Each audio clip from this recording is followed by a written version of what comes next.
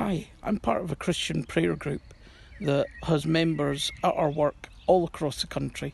We've got people up in Aberdeen, we've got people in London, in Belfast, and spread throughout other cities in the UK.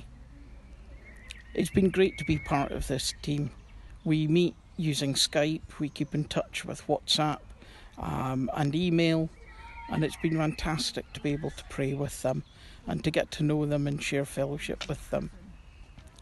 In 2020, when COVID hit, I caught COVID quite early on, and unfortunately, I ended up catching it quite bad. I ended up in intensive care. For three weeks, I was in a coma. During that time, the specialists told my wife that they didn't expect me to last more than a couple of hours at one point, and they told her to prepare for the worst.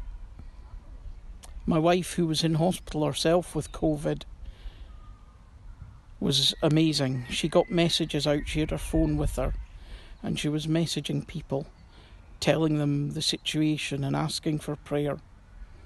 And I know that shortly after that, the people were praying for me. The this workplace group, my other prayer groups, they were all praying for me.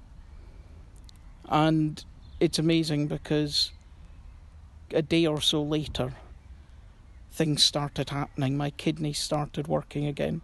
My liver kicked in again. My body started fighting the infection. And the doctors and specialists admitted they'd done nothing different. They couldn't explain why my body suddenly started working again.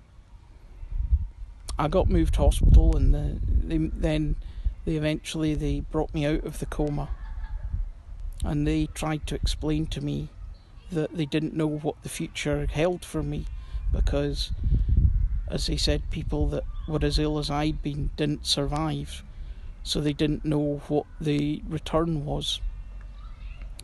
But do you know, the prayer I had was amazing. I'm sure that that's what got me through. That God heard that prayer and He decided that it wasn't my time, He's got something else for me to do. And this past year, I'm back at work now, working from home. As a lot of people, but still in touch. We're still praying, we're still meeting every day on WhatsApp. And I've continued to know an amazing amount of prayer support as I've got back to some sort of normality, um, as I've tried to recover from the physical effects of it.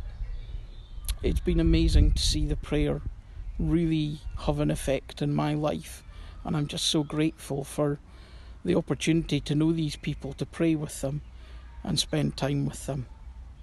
Thank you.